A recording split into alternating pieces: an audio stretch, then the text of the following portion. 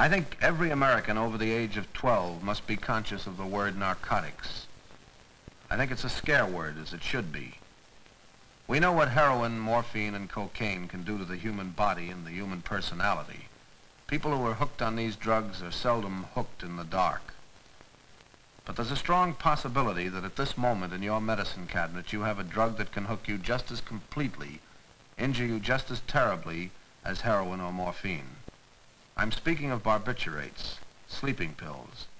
Tonight I'm going to tell you the story of the thousands of Americans who suffer the agonies of barbiturate addiction.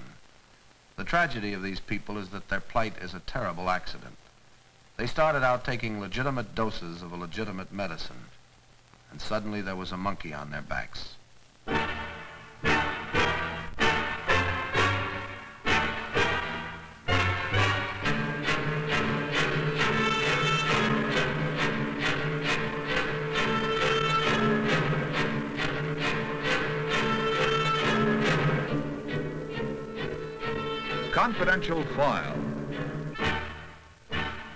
Report by Paul Coates, one of the nation's distinguished news reporters, brings you a factual report on America today, its people and their lives.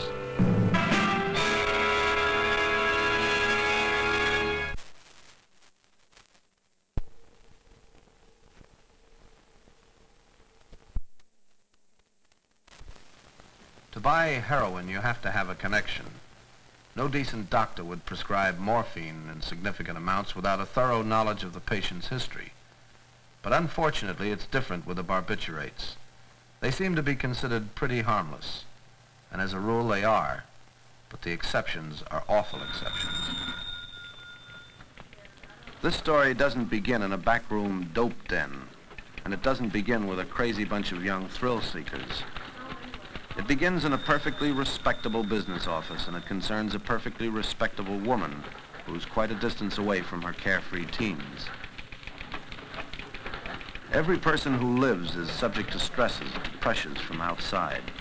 Some of us, at some times, the pressures seem almost too much to bear. That's the way she feels right now, as if the entire world were concentrating its aggregate energy into harassing her, picking at her, sniping at her. She'd like to scream, throw a typewriter through the window. She'd like to cry. Of course, she can't throw a typewriter through the window. She can't cry. She needs the job. But there's another way to gain relief.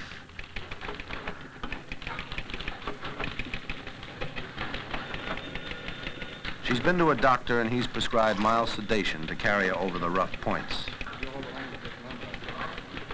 And it works, so not immediately, but once she's gotten these little pills inside her, she knows that help is on the way. Half an hour from now, she'll be as calm as a Supreme Court judge.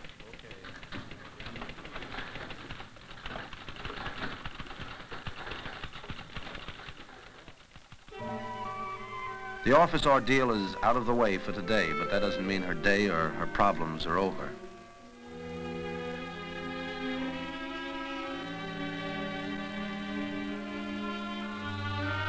She comes home to another, even greater responsibility. And to her, responsibility means stress.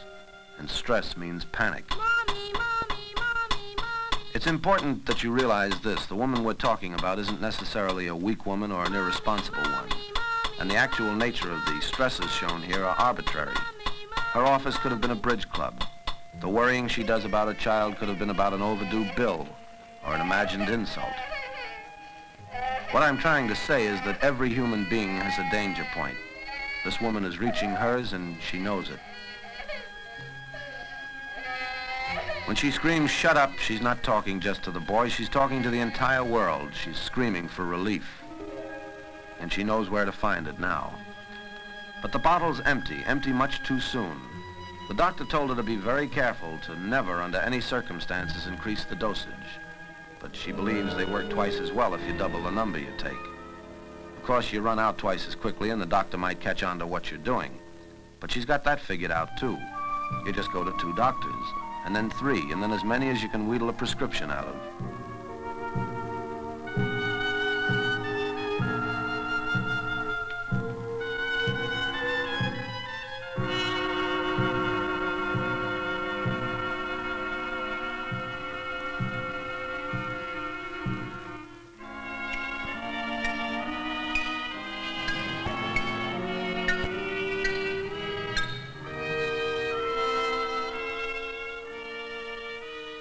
First, she grabs a tube of toothpaste. She wants to make the druggist believe that she just happened to think of the prescription in her purse. One of the first and almost invariable signs of addiction is the victim's anxiety to keep his drug consumption a secret.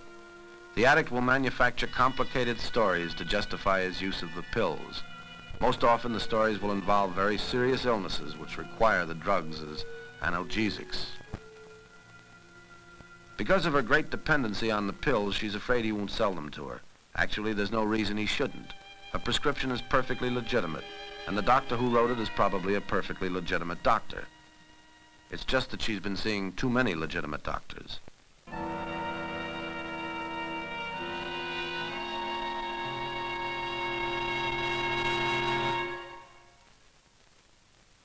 A few hours and a few pills later, she finally seems to be in the clear. Boy's in bed, the housework's done, and nothing now until morning. But she won't think about morning yet. Just sleep. It's all she wants. And there's only one way to get sleep.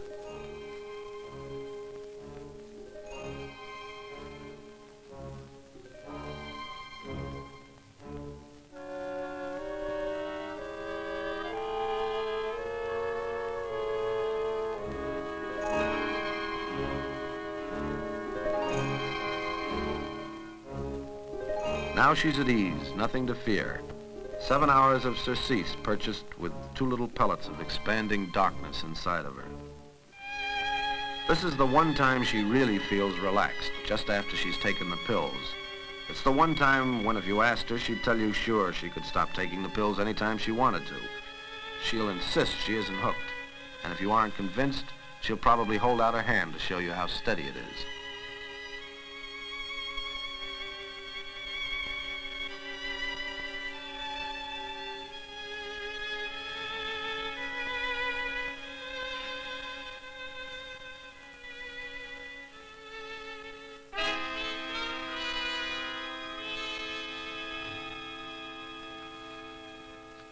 How could she be hooked? There she is going to sleep like a baby, and she's only had a couple of dozen pills today. 11.15, sound asleep. 4.35, miserably awake.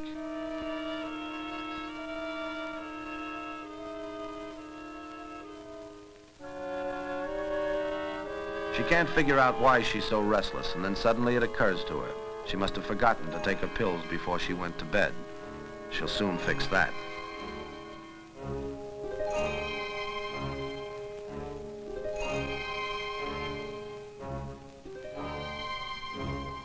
It happens every day. Check an emergency hospital log, any emergency hospital.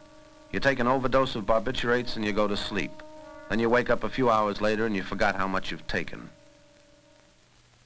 She's so groggy she can hardly stand up, but she's convinced a sleeping pill will fix everything.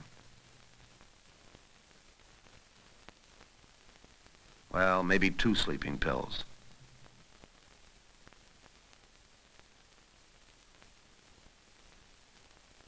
Better make it three.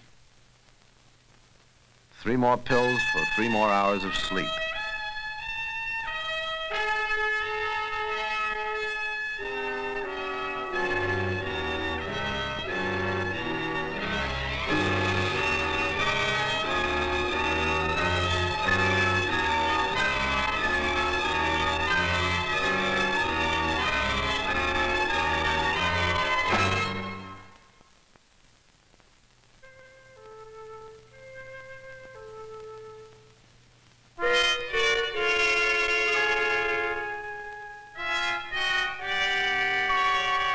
Tell you something. You don't play with barbiturates that way and get away with it. You end up dead or in a hospital getting your stomach pumped out. Or you end up hooked real bad. You end up not being able to take care of your job or your home. Not being able to take care of yourself. You take pills to knock you out. You drink coffee to pull yourself together. And after a while, neither one really works. You can't go to sleep and you can't wake up and you don't have that feeling of sweet relaxation anymore. You know now that the pills are killing you, but you don't know how to stop.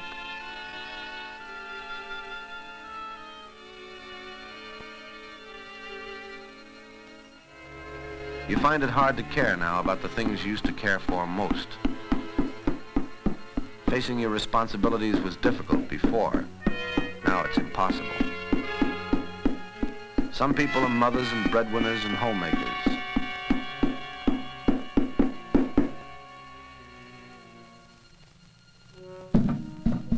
Now you're not any of those things. You're a barbiturate addict.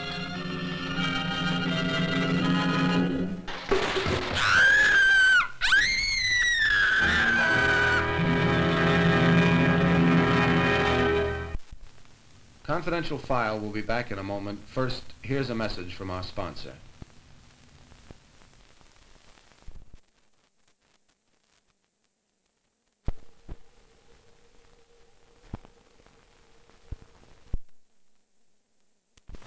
May I have your name, please? Clinton H. Thienes. And your age? I'm 58. And your occupation, sir? I am uh, director of the Institute of Medical Research of the Huntington Memorial Hospital in Pasadena. And how many years of experience have you had, Doctor?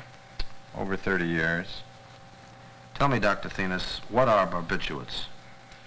Barbiturates are um, synthetic uh, materials which are derivatives of malonic acid and uh, urea And what's been their principal use? uh, to uh, cause sleep and to relieve nervousness. Are they addicting? Uh, yes, they are addicting drugs. And how do barbiturates differ from narcotics in their effect? In general, barbiturates are uh, more sedative.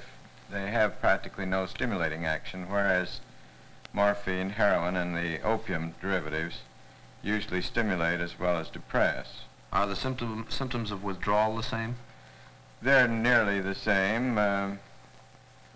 They, um, the muscle pains and the sweating, the nausea and vomiting are not quite so severe as with the opium derivatives, but uh, there is more tendency to insanity uh, during the withdrawal period with the barbiturates.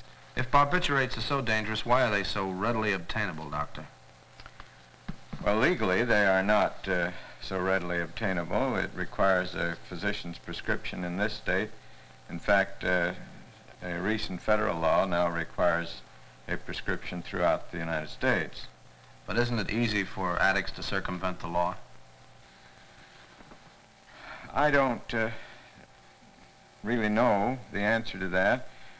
Um, I understand that uh, those who wish uh, barbiturates can get them, but uh, they have to um, pay good-sized prices for them. What treatment is available to a barbiturate addict? Uh, there is good medical treatment. Uh, it should be sanitarium treatment, preferably, and with a psychiatrist. Well, suppose a strong-willed person tries to shake the habit by himself. Is that possible without any help? It is possible, and it has been done, but it isn't a safe procedure, for occasionally uh, they will die uh, when they uh, stop taking the drug, and uh, quite a number of addicts um, will become insane. I want to thank you very much, Dr. Thienes, for your cooperation tonight. It's been a pleasure to be with you, sir. Thank you. In the film, we showed you the case of an adult addict. It doesn't always happen that way. Sometimes it's worse. May I have your name, please? Hazel Martis, And your age? 52, And your occupation? housewife. I understand, Mrs. Martis, that you have personal knowledge of problems involved with drug addiction. Yes, I do. I have a son who is in a mental hospital due to the habitual use of Benzedrine. How old is your son? He's 28 now. And when did this Benzedrine addiction begin? I think at about the age of 16. How did it begin? Well, um, he was a pianist, and he used to play at parties, settlement houses, and so on, with a high school band. Mhm. And I do believe that that's when it started. Well, did you try to get him any medical attention at that time? Oh, yes, I did. I uh, took him to a medical doctor, and um, he talked to him, but he told me that it was for a psychiatrist, really. Did you take him to a psychiatrist? Uh-huh. I took him to a psychiatrist. I got him to go several times. And then he says, Mother, there's no use taking me there. He says, I won't do it anymore, and there's nothing he can do for me. He says, I'm just going to quit taking that stuff. But he didn't quit, did he? No, he didn't quit. Uh-uh. And later on, he uh, started chewing the baton in Benzedrine inhalers Mhm. that he could buy at any drugstore for a quarter. And, Chew it like gum? and chew it just like gum. Uh-huh. How did he act when he had done that? Well, he'd get very wild acting, very peppy, Mhm. and very happy.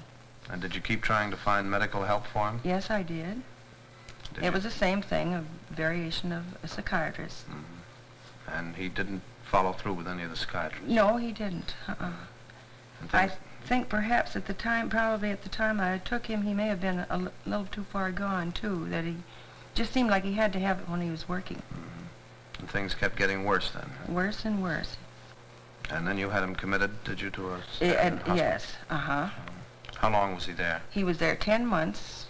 He had a series of shock treatments, and they released him mm-hmm. as being well.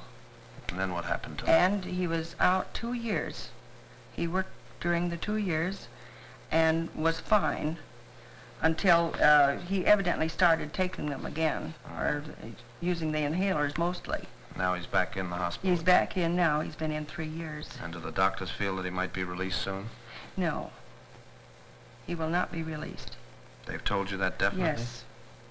That's right. He's had all the shock treatments that they can give him and the occupational therapy, everything they can do for him. But uh, he will always remain the same. Well, thank you very much for appearing here with us tonight, Mrs. Martin. The addict who hopes to overcome his habit has a tough fight. The odds are not favorable, but it's a fight that can be won. May I have your name, please? Just your first name. Margaret, And your age, 42. your occupation. I'm a housewife. Do you have any children? I have three sons. Margaret, how did you start taking barbiturates? I was an alcoholic and I had been off drink for about 90 days and I was going through a particularly nervous period and a well-meaning friend of mine gave me two little yellow capsules and she told me they would relax me if I took them. And did the pills seem to help? Yes, they, uh, they helped me in a great deal. I liked the way they made me feel. How did these pills make you feel, Margaret?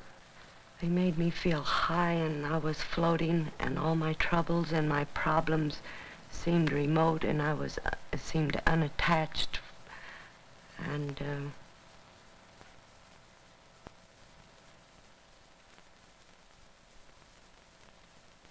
When did you know that you were addicted?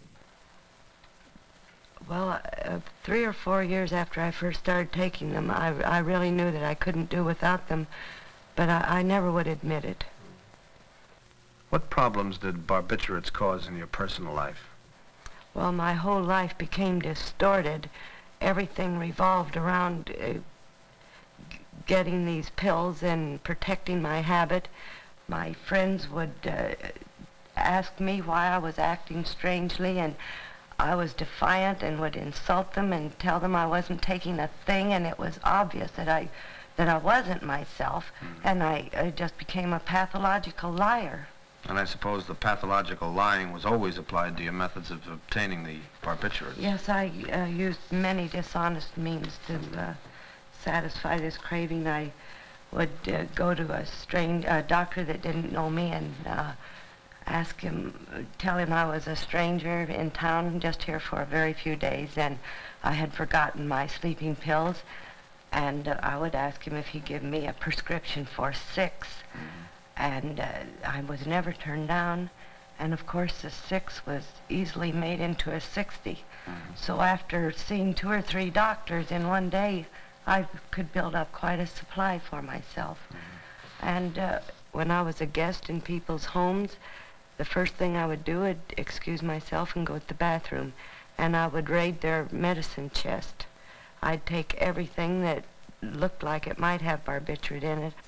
And all this time, while you were raiding the medicine cabinets of your friends and doing everything else to get sleeping pills, you were, had no desire to drink. This satisfied your This need. uh, completely. I didn't have a drink at all. How many pills did you take in, let's say, a week? I would. I'd take at least a hundred or a hundred and fifty a week. You go on binges with them. I'd uh, start out when I first started out. I'd go on binges. They would last uh, three or four days. I'd go to bed and stay completely under the influence of uh, barbiturates, the binges became closer and closer together till they almost merged into one big binge, and I became terribly frightened. What happened when you tried to break the habit? I uh, would start perspiring from every pore of my body. Uh, my leg muscles would cramp, and I'd be very, very sick at my stomach, and I'd be terrified. I don't know what I'd be afraid of, but I'd hear strange noises and uh, shadows, and even the movement of a window shade would throw me into a complete uh, state of terror.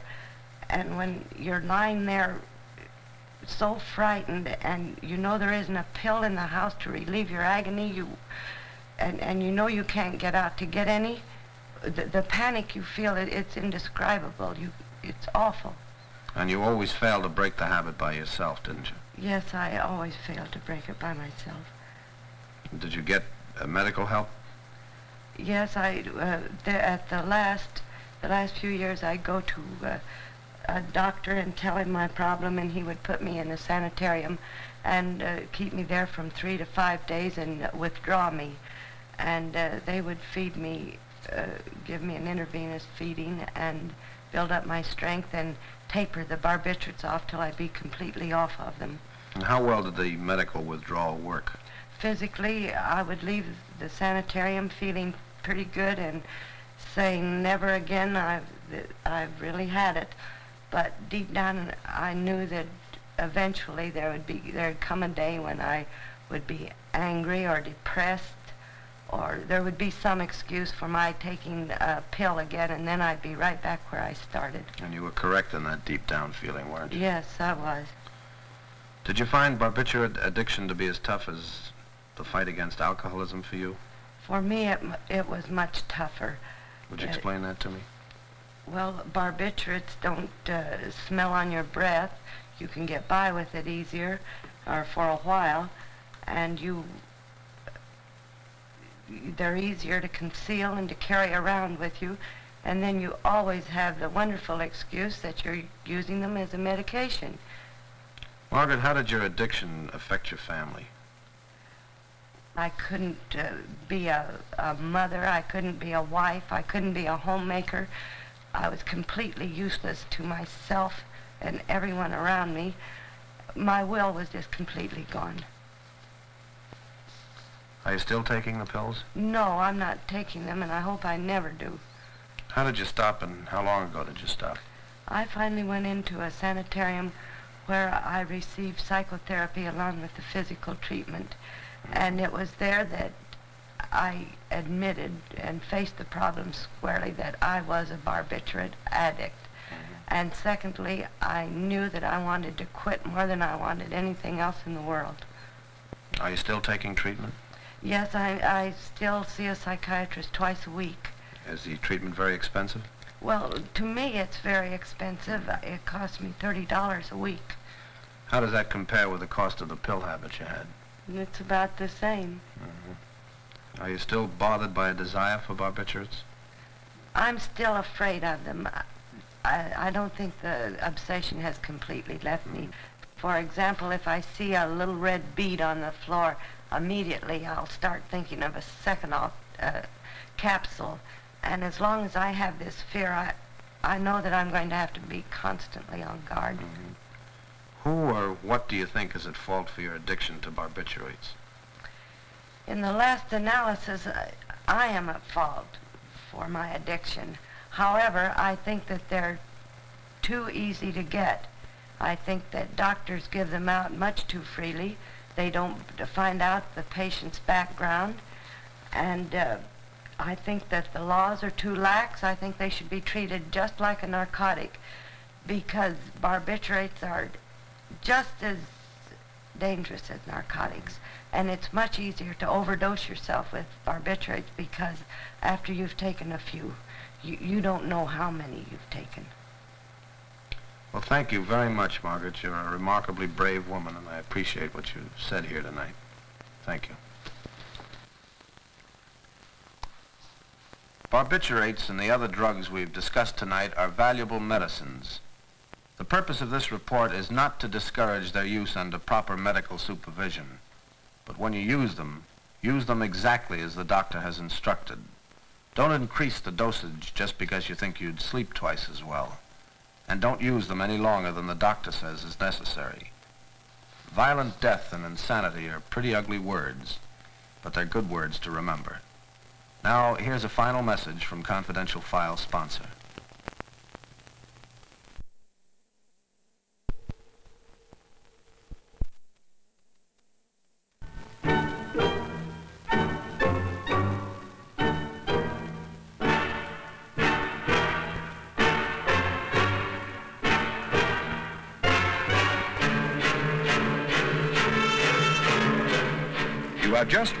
Another authentic report by Paul Coates, distinguished columnist and news reporter. These factual reports are brought to you each week by this station. Necessarily reflect those of station or sponsor.